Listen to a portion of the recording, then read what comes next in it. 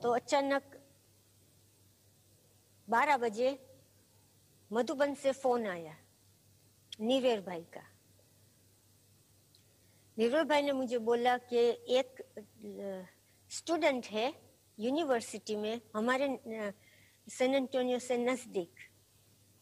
उसका सख्त, भयानक एक्सीडेंट हुआ है। वो हॉस्पिटल में है, बहुत सीरियस है। उसके माता पिता पक्का ब्राह्मण है, बहुत सहयोगी है, बहुत साल से ज्ञान में है, तन, मन, धन से सेवा करते हैं। आपको वहाँ जाना है और देखना है क्या हो रहा है। तो मैंने हॉस्पिटल को फ़ोन किया। मुझे हॉस्पिटल का नाम बताया था। तो हॉस्पिटल सुप्रिटेंडेंट को मैंने फ़ोन किया, उसने मुझे बोला, मैंने नाम दिया उसका, लड़का का। तो उसने मुझे बोला कि उसकी स्थिति बहुत भयानक है, असंभव है, वो नहीं बच सकेगा, हम सब कुछ करेंगे। वो सुबह उसकी कार में 125 किलोमीटर की स्पीड में जा रहा था, थोड़ा अंधेरा था और धुम्मस बहुत था और उसके सामने दूसरी कार आ रही थी वो भी बहुत तेज स्पीड से आ रही है तो उसका दोनों का कोलिजन हो रहा टक्कर लग गई पीछे दोनों ही बेभान कोई नहीं था तो हेलीकॉप्टर आया एंबुलेंस हेलीकॉप्टर दोनों को हॉस्पिटल में ले गए सेम हॉस्पिटल में। तो मैंने बोला, मैं आती हूँ, उसको मिलने के लिए। तो बोला, ज़रूर आप आओ। तो सेंटर से वो दो घंटा, दो दो दो घंटा दूर। तो मैं गई वहाँ, मैंने उसको देखा, लड़का को भयानक स्थिति। बट मैंने उसका मुख पर देखा तो उसके पीछे मैंने ब्रह्मा बाबा को देखा। मैं समझ गई कि उसको कुछ होने वाला नहीं है। तो मैं उसके पास गई। यहाँ उसके जब आत्मा होती है, मैंने उसको यहाँ बोला, हे, उठो। अब बहुत सोया। इतना बड़ा एक्सीडेंट हो गया है, आप बेभान हो। अभी बहुत सोना नहीं है, अभी आँख खोलो। उठना ही है।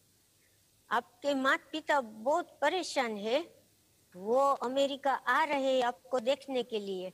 ऐसी स्थिति में, भयानक स्थिति में आपको देख के वो बेभान हो जाएँगे। तो आपको अभी जल्दी जल्दी उठना है।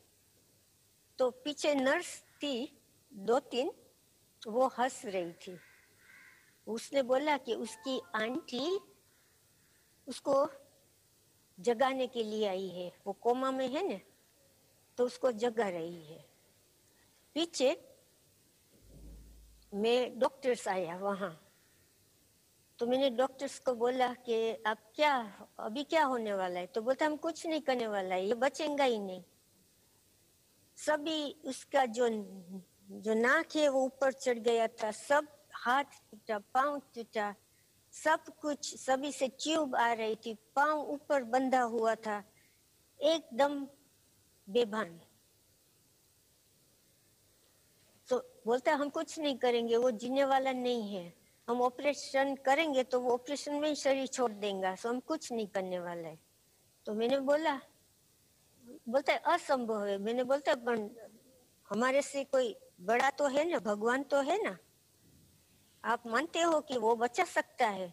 ये लड़का नहीं मरने वाला है। मैं भी डॉक्टर हूँ वो बच जाएगा। तो उसने कुछ बोला नहीं। पीछे मैं वापिस आई सेन एंटोनियो में। अभी दो बजे थे, मैं भोजन बना रही थी। तो हॉस्पिटल से वो ही डॉक्टर का फ़ोन आया। उसने मुझे बोला, आपने जो बात की थी वो सच्ची है। वो लड़का, अभी मैं उसको प्रश्न पूछता हो तो जवाब तो नहीं देता है, मगर रिस्पॉन्ड दे रहा है अंगली अंगुली से और हाथ से। मैंने उसको बोलते, हाथ ऊँचा करो तो करता है।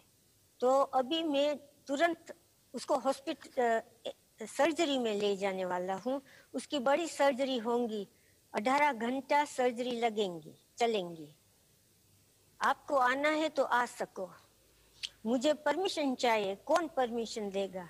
तब तक मैंने लेटर फैक्स से मंगवा दिया था।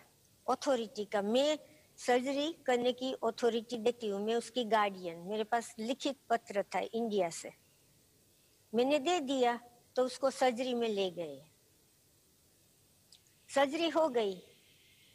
एकदम अच्छी तरह से। पीछे दूसरे दिन में गई तो वो तो भान में था।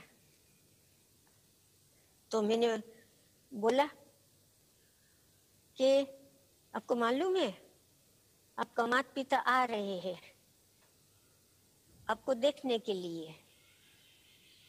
आपका एक्सीडेंट हुआ था, अभी देखो, इतना भयानक एक्सीडेंट हुआ और आप ज़िंदा हो गए कितना लकी हो। पीछे मैंने उसको बोला, आप इतने नज़दीक थे यूनिवर्सिटी में आप क्यों मुझे देखने के लिए नहीं, मिलने के लिए आए? आप आपके माता पिता तो पक्के ब्राह्मीण है। तो बोलते, मैं आपको मिलने के लिए आया था। तो मैंने कब? तो कि आप खुशी पर बैठ, कर कुछ मूल्य पड़ रही थी। मैं आपको मिलने के लिए आया था। आप मुझे नहीं मिले तो मैं चला गया। मैं समझ गई कि जो वो बेभान था, तब घूम रहा था। बाहर पीछे उसने मुझे बोला कि वो लड़का के, जिसके साथ मेरा एक्सीडेंट हुआ ने, वो मुझे बहुत तंग करता है। मैं जब बेबान था तो मेरे पास आके मेरे से झगड़ता है, मुझे दोष देता है। मुझे बोलता है कि आपने ही दोष, आपका ही दोष है, इसलिए मेरा एक्सीडेंट हुआ। और देखो, मेरी कार भी खत्म हो गई। अभी मैं यूनिवर्सिटी में भी नहीं जा सकूँगा। मेरी ज़िंदगी भी बर्बाद हो गई, मैं मर भी सकता था। वो लड़का भी वही हॉस्पिटल में था। बोलते मुझे बहुत परेशान करता है। मैंने बोला, आप ठीक हो जाओ, आप चिंता मत करो। मैं उसके साथ बात करूँगी। अभी जाके बात करती हूँ। पीछे मैंने नर्स को बोला कि उसके साथ दूसरा का भी एक्सीडेंट हुआ था। वो कहाँ है? तो उसने मुझे रूम नंबर दिया तो मैं गई वहाँ। मैं गई, पीछे मैंने उसको बोला कि आपका जिसके साथ एक्सीडेंट हुआ था ना, उसकी मैं आंटी हूँ। मैं उसको देखने ले आई हूँ, आपको भी देखने ले आई हूँ। देखो, किसी को मालूम नहीं है, अंधेरा था धूमस था और एक्सीडेंट हुआ। इसलिए तो हम एक्सीडेंट बोलते हैं, किसी का भी दोष नहीं है। आपकी स्थिति तो बहुत अच्छी है। आप तो दो तीन दिन के बाद घर चले जाएँगे। वो तो जिएगा और नहीं जिएगा, हमको मालूम ही नहीं है। तो आप उसको दोष मत दो। उसको माफ़ कर दो। ठीक है? तो बोलता है, बस मैं उसको माफ़ कर दूँगा। ओके? पीछे मैं निकल गई। पीछे जो मात पिता आ गए मात पिता ने देखा कि उसकी ज़िंदा तो हो गया, मगर अभी भविष्य में क्या होगा? तो उसने मुझे पूछा, दीदी, वो ठीक हो जाएगा एकदम? मैंने बोला, बाप दादा ने उसको जी दान दिया। उसकी ज़िंदगी बचाई। तो बचाएँगे तो पूरी बचाएँगे, थोड़ी बचाएँगे। कुछ उसको होने वाला नहीं वो एकदम सौ टका ठीक हो जाएगा। वो एक साल के अंदर मास्टर्स ग्रेजुएट, ओनर स्टूडेंट होके ग्रेजुएट हुआ। बाप दादा ने उसको ठीक कर दिया। मगर मैं उस दूसरे लड़के के पास क्यों गई? क्योंकि जो उसके संकल्प थे ध्रुणा के, दोष के, वो उसको, वो ये लड़का को परेशान कर रहा था। जब ऐसे परेशानी होती है तो हीलिंग फास्ट नहीं होता है। और जब हम बाबा को तन मन धन देते हैं तो उसने पिता ने तो सब कुछ बाबा को दिया था। खूब उसके घर से ही सेवा होती थी। सो बाबा ने उसके बच्चे को उस ब्लेसिंग से बचा लिया। तो हमको शुभ संकल्प के लिए बहुत सोचना है कि कितना फ़ायदा होता है।